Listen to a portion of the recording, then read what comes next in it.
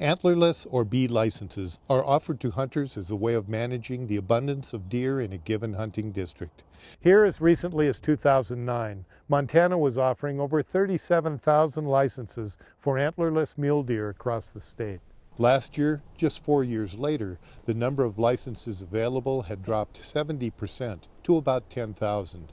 In 2014, licenses for antlerless mule deer have been generally eliminated we had some very severe winters during 2009 10 and then during 10 11 and those greatly impacted mule deer populations.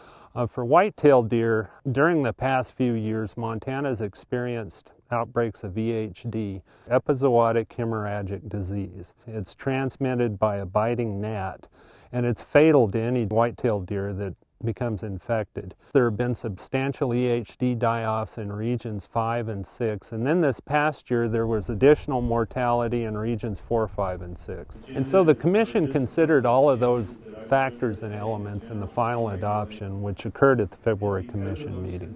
For mule deer, the general season over most of Montana, with few exceptions, will be buck only and B licenses are eliminated from most hunting districts in the state. Again, there are some exceptions to that as well associated with game damage. For white-tailed deer, B licenses were eliminated in regions 4, and 6 and part of Region 5. And those are areas that were affected by EHD mortality over the past few years.